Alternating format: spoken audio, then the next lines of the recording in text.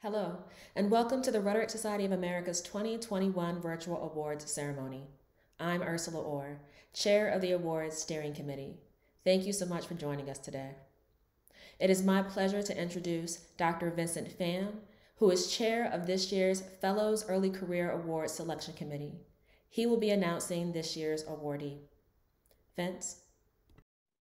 I'm delighted to announce that Professor Sharon Yam is the 2021 recipient of the RSA Early Career Fellow Award. Her scholarship, exemplified by her book Inconvenient Strangers, examines citizenship and its boundaries held within but also traversing nation states. The committee commends Yam for working beyond a solely US framework and toward the rest of the world, her engagement with translingual practices, and how she exemplifies and explicitly addresses the diversity of rhetorical scholarship's topics and purposes.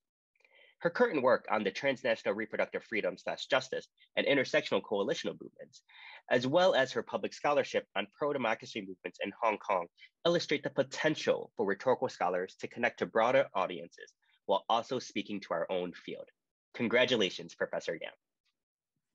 It is my honor and pleasure to accept this year's Fellows Early Career Award. First, I would like to thank my graduate school mentors, Morris Young, Christa Olson, and Michael Bernard-Donals of the UW-Madison for providing continuous mentorship and modeling what a good teacher, rhetorician, researcher looks like.